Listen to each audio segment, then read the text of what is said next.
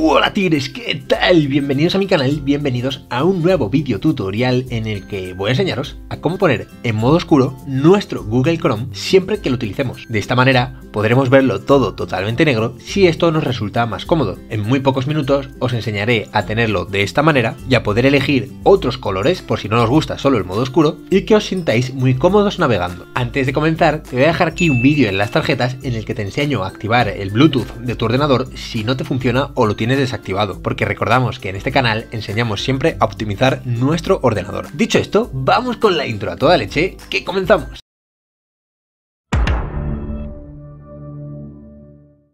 Bien tigres, pues ya estamos aquí, ya estamos de vuelta y lo primero que tenemos que hacer es en la página de Google vamos a abrir una pestaña totalmente nueva y nos aparece abajo a la derecha la opción de personalizar.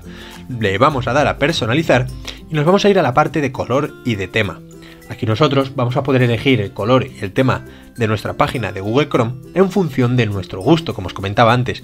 Por ejemplo, si nosotros lo elegimos rojo y le damos a listo, nos aparecerá Google Chrome obviamente en estas tonalidades, con el rojo más clarito siendo este de aquí y el rojo más oscuro la barra de búsqueda y la barra superior. Pero bueno, en este vídeo os voy a enseñar a ponerlo en modo oscuro y vamos a darle a color y tema y nos vamos a ir al modo negro. Como podéis observar, en Google nos sale la página principal de esta forma. Vamos a buscar cualquier cosa, vamos a poner por ejemplo YouTube, vamos a darle a YouTube y vemos que nos aparece en modo negro lo que viene siendo las herramientas de Google Chrome, pero lo que viene siendo la página de YouTube nos aparece en blanco, nos aparece en su formato predeterminado. Y para solucionar esto y verlo también en modo oscuro, vamos a descargarnos un plugin que vamos a tener que descargar desde Google Chrome. Es un plugin gratuito, así que abrimos el buscador y ponemos Chrome extensión descarga. Vamos a entrar ahora a la tienda de Google Chrome, al Chrome Web Store, y aquí en el buscador vamos a poner Dark Reader, de lector oscuro básicamente. Vamos a darle a Enter y nos vamos a tener que descargar este Dark Reader que aparece aquí, en el que vemos a un Darth Vader viendo el ordenador directamente. Es una metáfora bastante buena y bastante llamativa. En este caso, bueno, pues eh, aquí vemos que está ofrecido por darkreader.org y te dice tema oscuro para todos los sitios, cuide sus ojos. Muy bien, pues vamos a darle y la vamos a añadir a Google Chrome es una herramienta que tiene 5 estrellas, la ha descargado más de 8.000 usuarios y yo la recomiendo si queremos tener Google Chrome en modo oscuro se nos descarga, la instala Google Chrome y esto es el Dark Reader. Actualmente ya veríamos todas las páginas, si las actualizamos, en modo oscuro. Y esto es gracias a Dark Reader.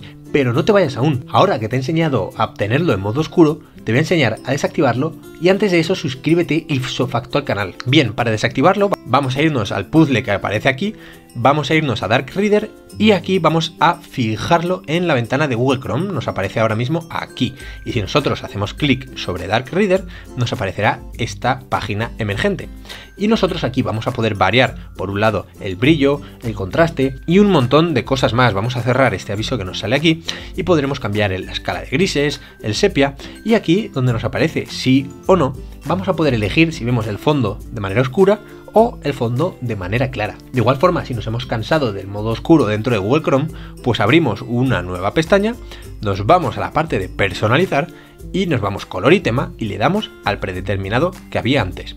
También os digo que el tema podremos editarlo aquí, podremos elegir los colores que nosotros queramos. Si nosotros, por ejemplo, queremos rojo y luego queremos otro color, pues lo podemos hacer así de fácil. ¿Veis? De esta manera podremos elegir el tema que nosotros queramos. Para volver a la normalidad nos vamos a este de aquí, que es el predeterminado, le damos a listo y ya estaría. Mírate este otro vídeo para aprender nuevas cosas dentro de YouTube o suscríbete para tener los tutoriales más útiles en la plataforma. Espero que te haya gustado y nos vemos en el próximo vídeo. Que vaya bien.